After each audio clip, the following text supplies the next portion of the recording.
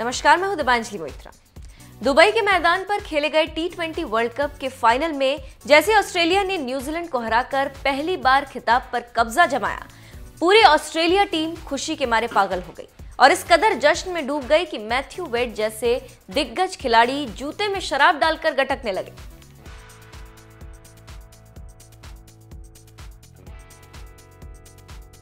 एक रनों के टारगेट का पीछा कर रही ऑस्ट्रेलिया के बल्लेबाज ग्लेन मैक्सवेल ने 19वें ओवर की पांचवी गेंद पर जैसे ही टिम साउथी को चौका जड़ा, इसी के साथ पूरी ऑस्ट्रेलियाई टीम जश्न में डूब गई। और ये जश्न इस कदर था कि देखकर आपको घिन आ जाए। दरअसल जैसे ही टीम ने टी खिताब जीता, ड्रेसिंग रूम में खिलाड़ियों ने जश्न मनाना शुरू कर दिया। इसी जश्न के दौरान मैथ्यू वेड ने अपने पैर से जूता उतारा और उसी जूते में शराब डालकर पीने लगे।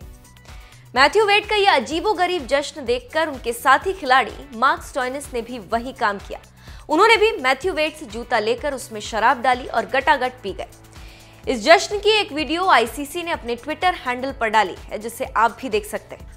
मैथ्यू वेड और स्टोइनिस के इस अजीबो गरीब जश्न पर सोशल मीडिया पर भी तरह तरह के रिएक्शंस देखने को मिले। एक ट्विटर यूज़र ने हसन अली की तस्वीर पोस्ट करते हुए लिखा भाई, आप जूते में दारू डालकर क्यों पी रहे हो? आपके पास ग्लास नहीं है क्या? एक और ट्विटर यूज़र ने लिखा, गंदे जूते से शराब पीकर ऐसा जश्न मनाना पहली बार देखा। यह अनहाइजेनिक है. रुखसाना इकबाल नाम के यूज़र ने लिखा नॉनसेंस लोग। जीत का जश्न मनाने का इससे बुरा तरीका और क्या हो सकता है? एक ट्विटर यूज़र ने लिखा यह सबसे खराब जश्न था। वर्ल्ड कप जीतना तो ठीक है, मगर इस तरह का जश्न यक अशोक ग्रोवर नाम के यूज़र ने ऑस्ट्रेलियाई खिलाड़ियों को जूते में शराब पीता हुआ देखकर पूछा, चरण धोकर पी रहे हैं क्या? शुभम नाम के यूज़र ने लिखा, ये क्या है?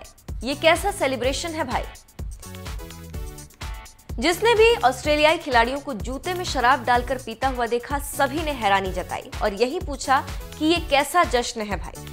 क्योंकि जिस जूते को हम घर से बाहर उतारते हैं, उस बदबूदार जूते में शराब डालकर पीने के बारे में सोचकर ही घिनौना लग रहा है। ऑस्ट्रेलियाई खिलाड़ियों ने तो उसमें शराब डालकर पी कर भी दिखा दिया। बहरहाल, मैथ्यू वेड और मार्क्स टॉइनिस के इस तरह के सेलिब्रेशन पर आपका क्या कहना है? अपनी राय हमें कमेंट कर ज़रूर बताएँ।